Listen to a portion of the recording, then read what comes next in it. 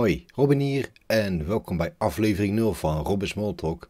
Deze aflevering is gemaakt omdat het uh, nieuwe seizoen van Wie is de Mol er weer aankomt. En ik door persoonlijke omstandigheden niet in de gelegenheid ben om aflevering 1 op tijd uit te brengen. Dus vind ik dit eigenlijk een heel goed idee als tussenoplossing. Ja, dan is het tijd om het nieuwe seizoen van Wie is de Mol te bespreken. Met wat ik nu voorbij heb zien komen. En een kleine hint, dat is bijna niets. Maar goed, we gaan door uh, naar uh, de locatie. Inmiddels uh, is de locatie bekend waar het nieuwe seizoen zich zal afspelen. En dat is in het land Albanië. Ik moet zeggen dat de trailer weer, zoals vanouds, heel erg mooi weergeeft hoe de berglandschappen daar zijn. De grote meren en dat soort dingen. Ja, dingen waarvan ik eigenlijk alleen nog maar van kan dromen. Het is dan ook voor het eerst sinds het begin van Wie is de Mol dat de locatie later bekend wordt gemaakt dan de kandidaten. Dit geeft ook wel weer een eh, leuke draai aan het begin van het seizoen. En verder laat de trailer een aantal leuke opdrachten zien, waaronder uh, paragliden als het goed is. En ik zag ook iets van abzuilen voorbij komen. En iets wat lijkt op een laseropdracht, alhoewel het geluid doet niet echt lijken op het wapen wat we in beeld zien. Het zou dus kunnen zijn dat het iets anders is. En als laatste laat de trailer een aantal kandidaten zien die ik ken van gezicht, maar niet bij naam. Dus uh, die gaan we nu eens even bespreken. Ja, de kandidaten. Zelfs de onthulling daarvan heb ik gemist. Ik zou me ervoor moeten schamen, maar dat doe ik lekker niet. Want blanco erin gaan vind ik beter dan alles al weten. Want dan heb je al ideeën wie de mol zou kunnen zijn. En ja, dan ben je al bevooroordeeld. En dat is iets wat ik absoluut niet wil doen. Maar goed, de kandidaten. Te beginnen met de kandidaten die ik niet ken. En dat zijn er nogal wat. Sinds ik niet zoveel tv meer kijk, anders dan eigenlijk Wie is de Mol. De eerste die ik niet ken is Arno Kantelberg. Hij is een lifestyle-deskundige. Dan hebben we Fresia Cousinho. Zij is presentator bij ESPN.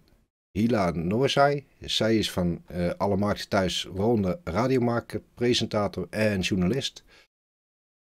Dan Letitia Gerards. Zij is operazangeres. Ik had ook nog niet eerder van haar gehoord. Maar ze heeft wel een hele prachtige stem voor de opera. Ik heb natuurlijk even opgezocht, want dan ben ik wel benieuwd als ik zulke dingen hoor. Dan hebben we Sahil Amar. Hij is ook van alle markten thuis als acteur, columnist, eh, film- en tv-maker.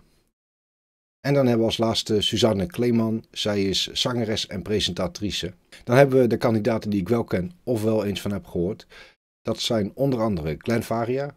Van hem heb ik wel eens gehoord omdat hij speelde met de groep Flinke Namen. Ja, dan Even Jackson. Ja, wie kent hem nou natuurlijk niet van uh, goede tijden, slechte tijden. Kim Lian van der Meij. Ja, ik ken haar vooral van het zingen toen ik uh, natuurlijk nog klein was.